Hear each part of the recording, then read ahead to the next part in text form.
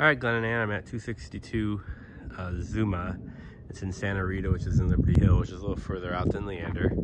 I'll give you a quick street view. Actually, I have uh, one of my clients moved in at the beginning of this block um, back in February.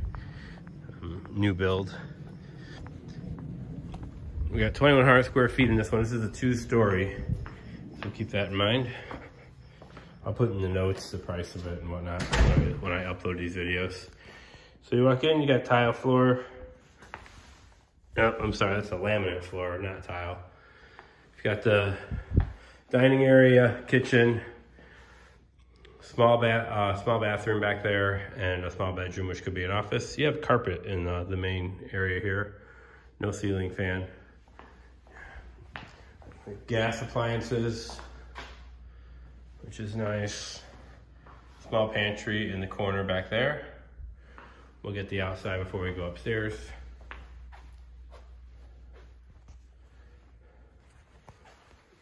So there's actually a full bath down here, so um, it could be, you know, someone's little area. I don't know if Kayla would want to be down here or not, but um, here's your bedroom. Back out to the main. This bedroom's pretty small. I'm guessing 10 by 10, I think, if I remember correctly from these floor plans. As you come out the back door, got a nice good sized backyard. But you are looking at your neighbors a little bit. Now we're gonna go upstairs and that's kind of where the majority of your usable space is as well. Um, as you'll see when we come up here, the master's up there along with three bedrooms. Carpets are a little bit stained, so if you were to move in here, make sure you take pictures of that so we don't get charged for that when you move out. So we walk up the stairs, got the loft area, which could be a game room or Kayla's room to play um, whatever, have her own space. You've got one bedroom there, a bedroom there, that laundry room, bathroom, and master is straight up top of the stairs. So we're gonna hit the master. And this house is about 300 square feet bigger than the last one, and it's two story, so it's a little different. Um, same laminate flooring. got your sinks. And this has a shower as well.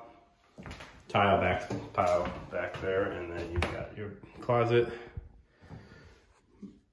about the same, yeah, maybe a little smaller than the last house I showed you. Uh, there is no ceiling fan in this room.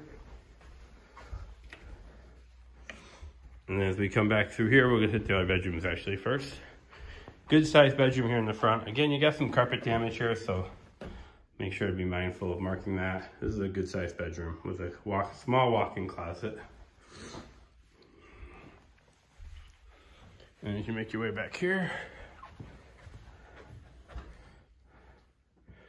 this one's about as big as the bedroom downstairs, maybe 10 by 10. And then you have your third bathroom, which is nice to have three full baths. Single sink. And then your laundry room, which is pretty good sized laundry room. As you can see, it's no gas hookup here.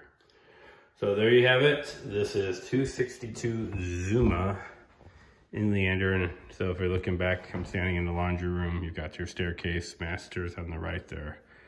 Bedroom, bedroom, laundry. Talk to you soon.